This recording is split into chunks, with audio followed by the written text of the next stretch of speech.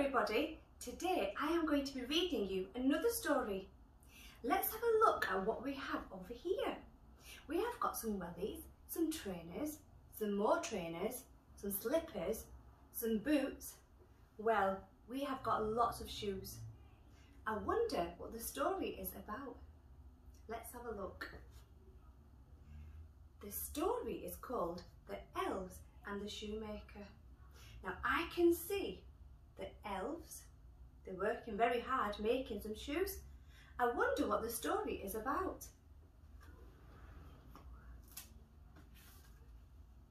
There was once a poor old shoemaker who lived in a little cottage in the woods. One evening after supper, he told his wife that he was unhappy. I am working so slowly. Now that I am old, he explained, I am worried that we will starve. Oh dear, he is worried that they might starve. I only have enough leather to make one more pair of boots, he went on. I do not know what will become of us then. There he is, feeling very sad and very unhappy. I wonder what he is doing. He's pulled out some leather, but I don't think that is enough to make some shoes. He might need some more things. After supper, the shoemaker went to his bench. He cut out the leather pieces so that they were ready to make into shoes the next day. There he is, cutting the leather. And he has cut all the pieces. The old shoemaker was so tired from working all day that he fell into a deep sleep. The next morning he seemed to remember that he had heard strange noises from his workroom, but he told himself that he must have been dreaming. Oh, he did wake up middle of the night thinking, wondering who could it be? He can hear some noises.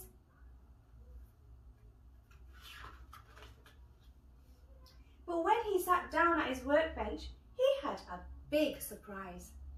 A pair of fine boots had been made from the leather pieces that he had cut out the night before. Look at these, he showed the wife.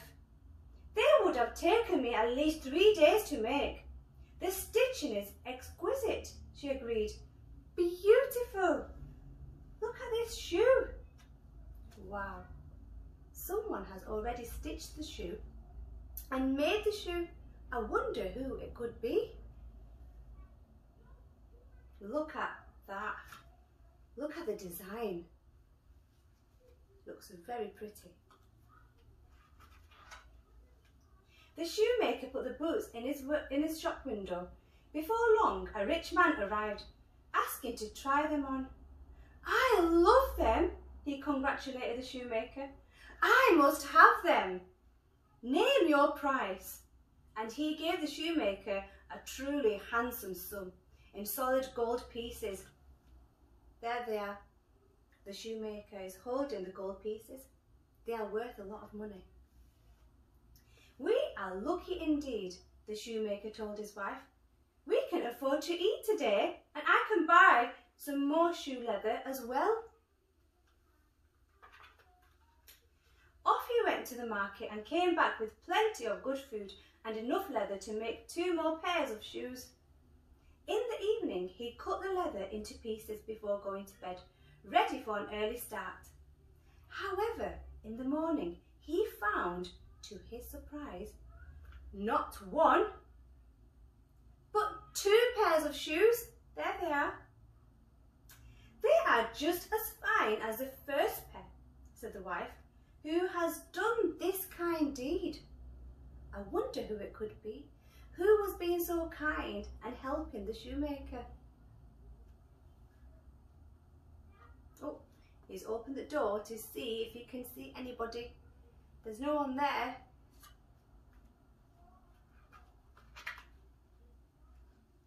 No sooner were the shoes put in the window than friends of the rich man knocked on the door. They loved the shoes so much that they bought them on the spot. And so it went on. The shoemaker bought more leather every day. He would cut it out and leave it on his workbench at night. Every morning he would discover the most beautiful shoes and boots which would be sold before lunchtime.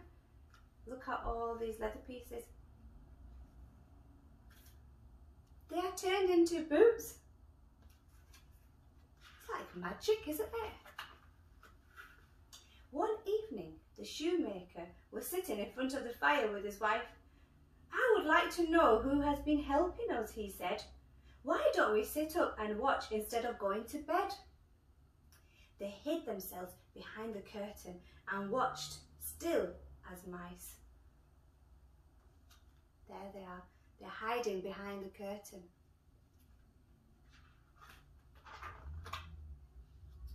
Towards midnight, the window sprang open and two little elves climbed through, dressed in rags. In an instant, they sat upon the shoemaker's bench and picked up all the leather pieces that were cut out. There they are, the two elves. So they were helping the shoemaker. They began to pull and stretch the leather, stitching it and tapping it, their fingers racing faster than the shoemaker had ever seen. In no time at all, four pieces of shiny boots and shoes were standing on the bench. Then, quick as a flash, the two elves were gone, rubbing their bewildered eyes.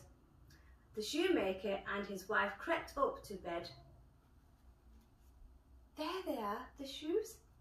They have made one, two, three, four pairs of shoes.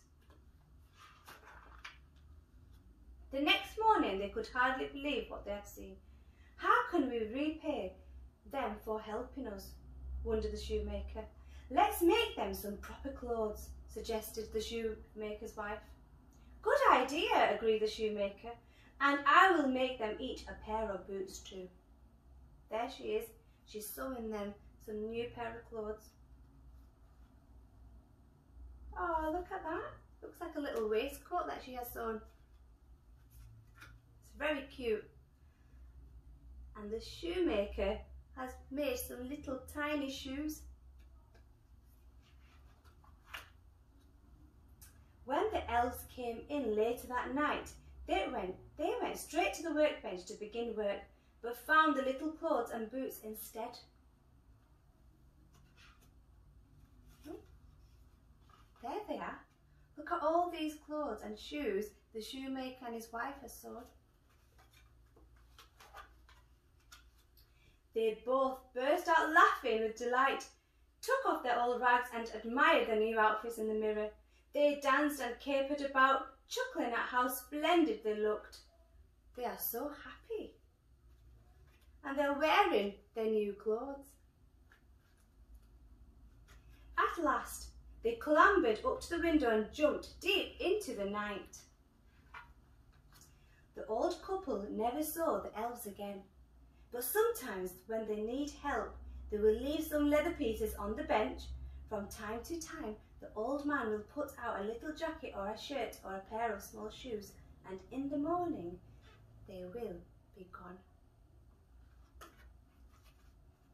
Who do you think takes their small tiny clothes that are sewn by the shoemaker and the old woman. That's right, I think it's the elf too. The elves, I really like their clothes and they're so kind, aren't they? That made me so happy. I really like this story and I hope you have enjoyed it too. Take care.